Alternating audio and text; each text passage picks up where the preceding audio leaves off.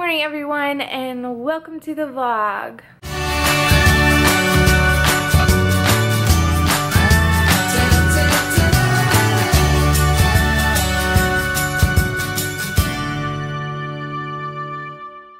I look gross.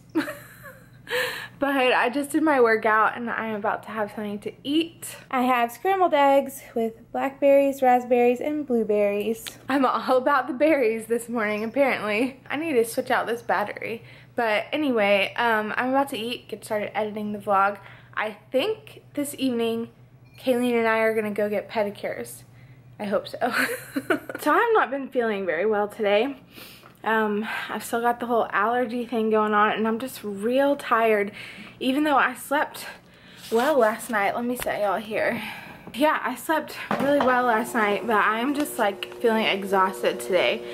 And I have been craving honey mustard pretzels for like the past four or five days and Matthew cannot find them anywhere. He found these. I don't know if y'all have ever seen those. Um, and then he also got them in cheddar cheese. But they are not the honey mustard pretzels that I like. I mean, they taste okay, but they're not what I like. Um, do y'all know what I'm talking about? The honey mustard, they're, they're shaped like regular pretzels and they're honey mustard. I'll put it like a photo of what I'm talking about up here, but these are not it.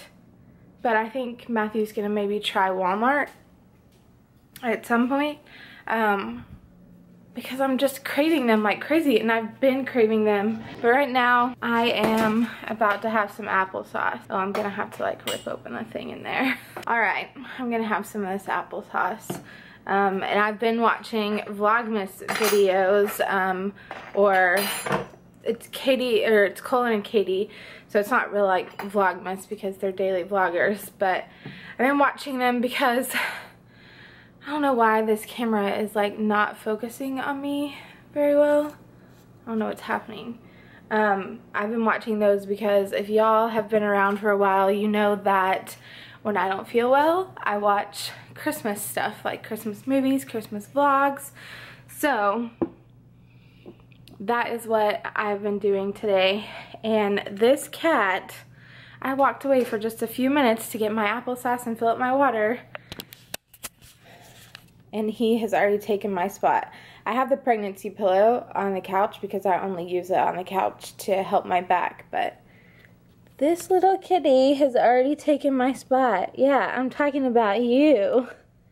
You're gonna have to move, little bud. You're gonna have to move. You're so cute. I hate making you move. Okay, I didn't make him move very much. He's cuddled up right next to me. So happy. I love you, Henny Bear we call our cats so many different names. Y'all are probably like confused on what their actual names are. Um, but just to kind of explain it, when we picked Henry out, which was like the night the kittens were born, I picked him out. And I named him Henry like a few days later. Um, and then we picked Riley out later on because Matthew decided he wanted a cat too. And then of course they're both like super attached to me.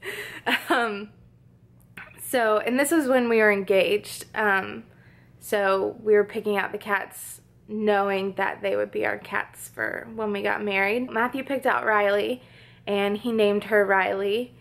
But then like as time went on, I would call Henry Henry Bear because I would say that like his face shaped like his face shape looked like a bear.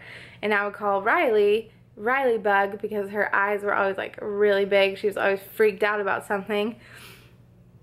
So I would call her Riley Bug and Matthew started doing the same thing, Henry Bear and Riley Bug. And then sometimes we just kind of like change up Henry's name and call him Henny Bear or something like that. We call him so many different names or I'll just call him Bear or I'll call Riley Bug or yeah they have a lot of nicknames, but their actual names are Riley and Henry.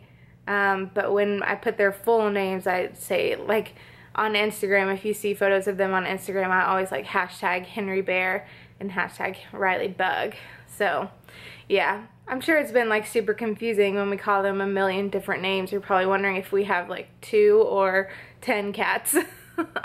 but there's only two and they just have several different names. Look at that cute kitty. Oh, I will get him He's so cute. All right, so I had a nap. I'm still not feeling very well, but I do feel a little better after taking a nap. Since it is Wednesday, that means Matthew won't be home for dinner. I feel like this is still not really focusing on me. um, so I decided to make this for dinner. It is chicken Florentine. Matthew doesn't really like this or he thinks he doesn't. I don't even know if he has tried it, but when I picked it up, he was like, ugh. But it's super easy to make. Just make it on a stove, covered for like 11 minutes, just stirring whenever. Chicken Florentine is like one of my new favorite things, so I thought this would just be an easy thing to make when I'm not feeling well. Um, and I'm the only one that's going to be having dinner because uh, I don't think Matthew really likes this. Anyway, that's what I'm having for dinner. And here is my chicken Florentine. Y'all, this looks so good.